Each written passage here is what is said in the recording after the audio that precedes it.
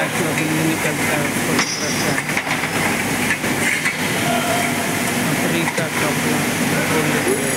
का तो मैं video making Oh, okay, okay.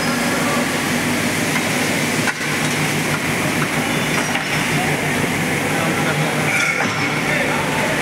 है अमन भाई हमारे इलेक्ट्रीशियन जा रहे हैं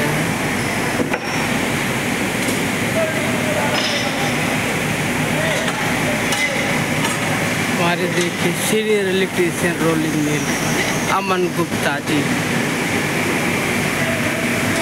देखिए, पाजी हमारे खड़े हैं, जो अपना प्रोडक्शन लाइन देखते हैं। देखिए, ये संजीव जी हैं शिफ्ट इंचार्ज यूपी मेरठ के रहने वाले।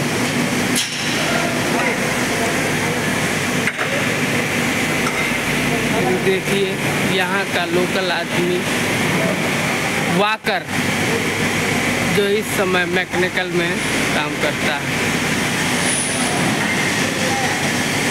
इधर देखिए, सारे आदमी लगे हुए हैं रोला चेंज हुआ। अभी तक 12 एम का बन रहा था 10 एम का टीएमटी बनेगा। देखिए, संजीव भाई सीनियर फिटर हैं।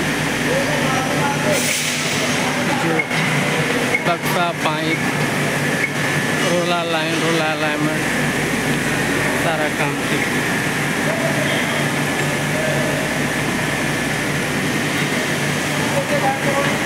ये पूरा इलेक्ट्रिकल का पूरा पैनल है।